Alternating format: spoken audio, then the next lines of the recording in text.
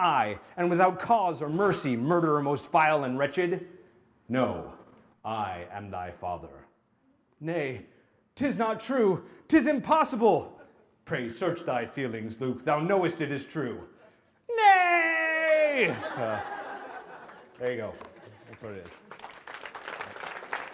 If you've ever seen the movie Star Wars The Empire Strikes Back, you probably recognize this famous exchange between Luke Skywalker and Darth Vader. But you may also have noticed that this version sounds a lot like a Shakespearean play. That's exactly what Portland author Ian Doeschner intended when he wrote the best selling book, Shakespeare's Star Wars Verily, a New Hope.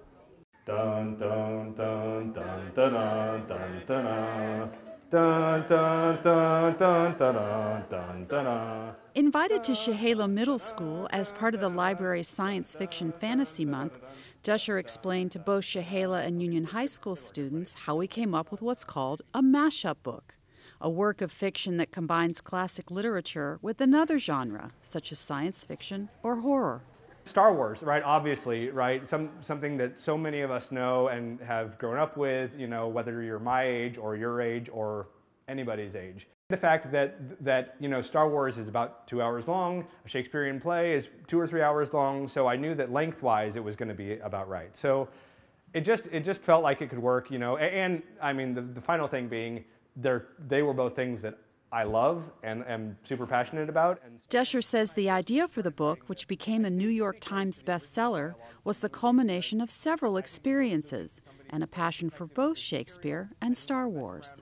The book was born out of uh, a couple of experiences that I had of seeing, watching the Star Wars movies again, uh, then reading Pride and Prejudice and Zombies, which is one of the first in this mashup genre of literature, uh, and then going down to the Oregon Shakespeare Festival and seeing some of the plays with my family. And uh, you know, when I had the idea, which was right during the Oregon Shakespeare Festival, I, I sort of thought to myself, you know, this could really work. Doeschner says Star Wars and Shakespeare aren't as different as some might think. Star Wars is this grand heroic story, you know, which is what Shakespeare wrote. I mean, he wrote these big stories with sort of larger than life characters. You have, you know, Darth Vader, who's this great tragic figure, almost like King Lear. Uh, you know, you have uh, these comic characters, you know, C-3PO and R2-D2 are very similar to Gil- Rosencrantz and Guildenstern. There really are so many themes, you know, young people fulfilling their destinies, uh, students and teachers, you know, and their relationships. The whole father-son dynamic, you know, is a huge one. Sto- themes that are not only in Shakespeare, but are in so many stories that we have culturally that, uh, you know, that we all know and love. A lesson not lost on Union High School student Johnny Collier. I just thought it was really interesting how you combined the two ideas, just because they were um, they were just completely different. They you think of them as completely different things, but they actually, um, when you combine them together, you kind of they you can see the similarities between the two. Shahala librarian and Star Wars enthusiast Paul Warner says when he saw Doeschner at a festival, he knew a visit from the author would be a great way to engage students. My first thought when I saw him present was, this is a fantastic idea to combine Star Wars and Shakespeare. And my second thought was, uh, what a great uh, way to get kids interested in Shakespeare. I want the kids, uh, first of all, always to just really get interested in reading and, and writing.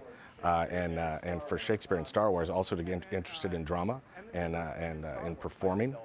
And um, so my hope is that they see that Shakespeare and Star Wars uh, can both be fun uh, and educational at the same time. Beyond the fun of the book, Doeschner hopes students will also see that Shakespeare is literature that anyone can enjoy.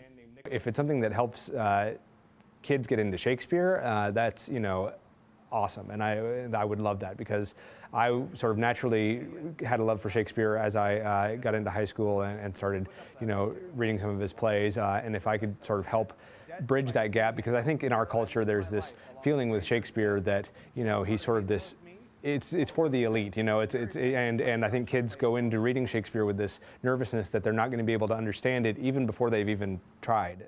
Union High School student Tyler Wheel says he's a fan of both Star Wars and Shakespeare, but today's presentation made him more curious about the mashup genre.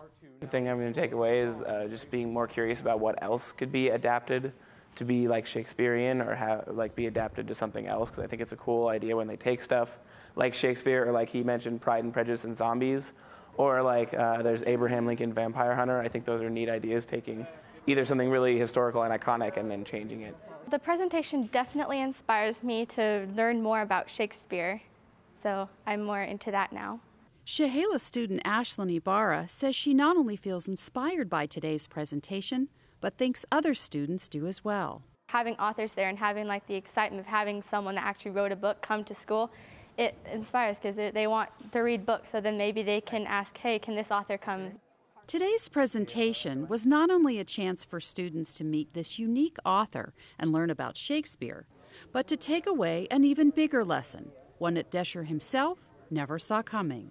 And there are two things I really hope that the students would take away from a presentation like this. Um, first of all, you know, that, hey, Shakespeare sounds interesting and I'd like to give him a try. Uh, that, that would be wonderful if they went away with that. And second of all, just, uh, you know, if you have an idea and if you have a passion, take it and run with it. I did not expect that this book was going to happen in my life. Uh, I had no sense of it coming, hadn't been working on it for years. It was just an idea I had that was related to two of my passions, and, uh, and now it's become something that's published, and I'm doing the sequels. And so uh, I hope that the kids realize, you know, uh, if you have a, a, dream or an idea, you should go after it with all you can because, uh, because who knows?